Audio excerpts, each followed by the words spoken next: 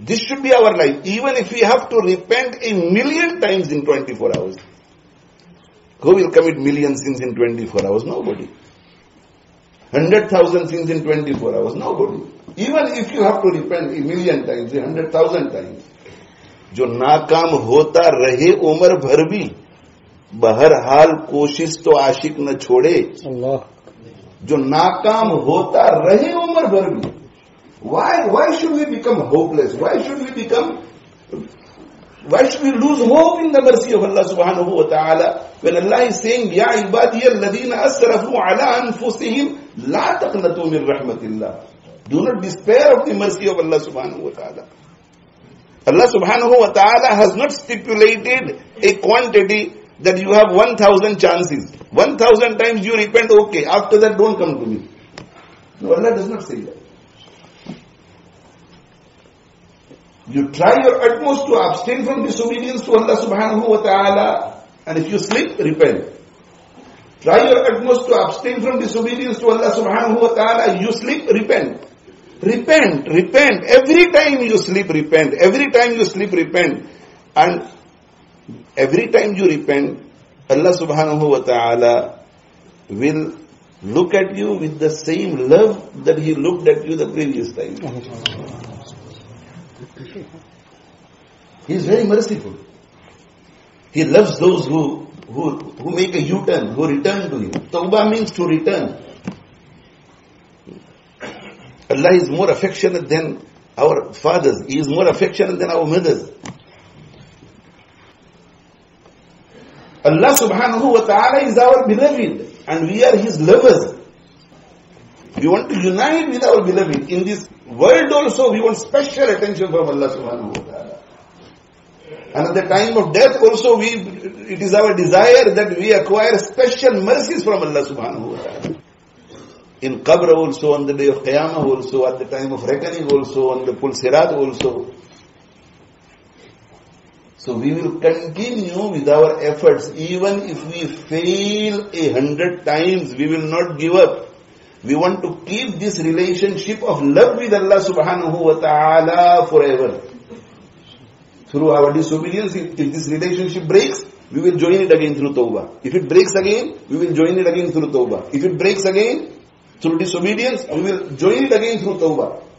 जो नाकाम होता रहे उम्र भर भी बहरहाल कोशिश तो आशिक न छोड़े ये रिश्ता मोहब्बत का कायम ही रखे जो सौ बार टूटे तो सौ बार जोड़े relationship of love with Allah subhanahu wa ta'ala breaks a hundred times, through Toba we will join it a hundred times. If it breaks a thousand times, through Toba we will join it a thousand times. So no more sins from today, inshallah. And it's going to be tough. It's going to be hard. Because the nafs has become addictive to unlawful pleasures. It has become addicted to, to unlawful pleasures. So it's just like a person who becomes addicted to drugs. It's tough, it's hard. But if he resolves, Allah's help will come. If we resolve, Allah's help will come. If we make a resolution that no more sins, and I can live a life of piety, I can live a life pure from disobedience to Allah subhanahu wa ta'ala, and I will inshallah. If we resolve, then Allah's help will come. And after resolving, we need to take appropriate steps. Appropriate steps. And one very important step is tazkiyah. Tazkiyah.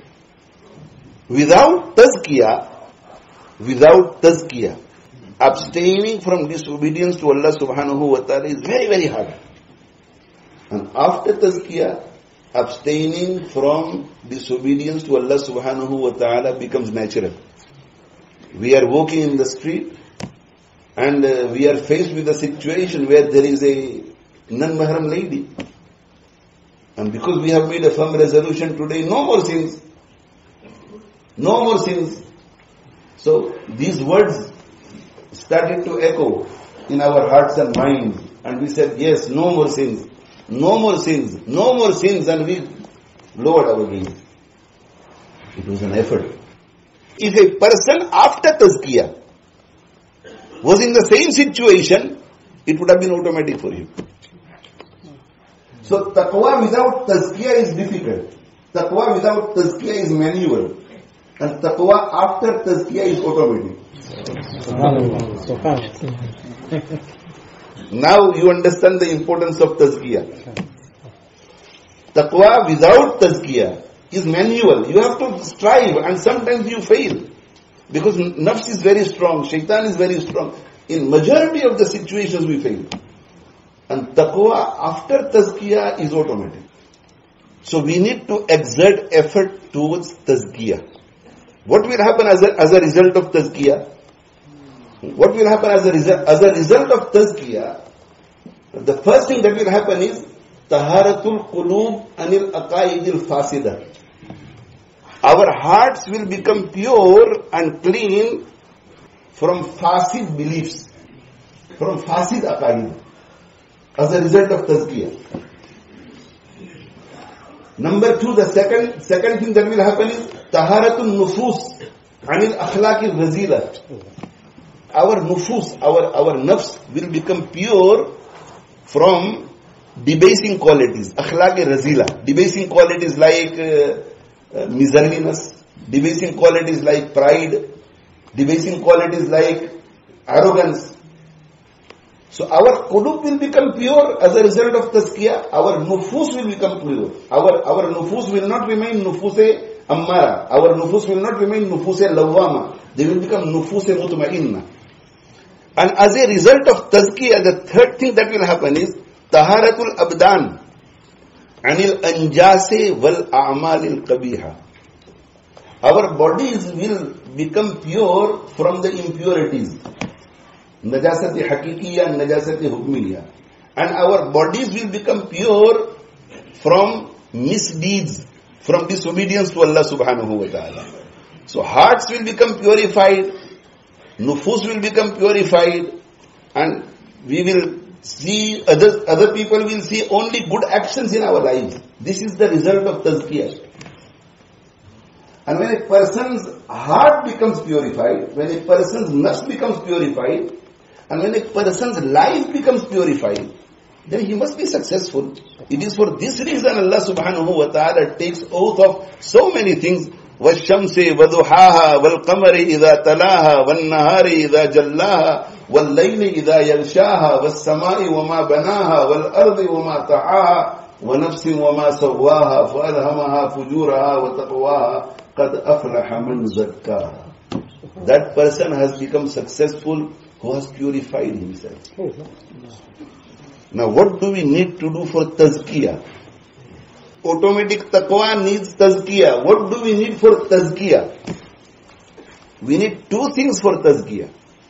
Two things for tazkiyah. One is zikrullah and the second is the company of the people of zikrullah. Oh,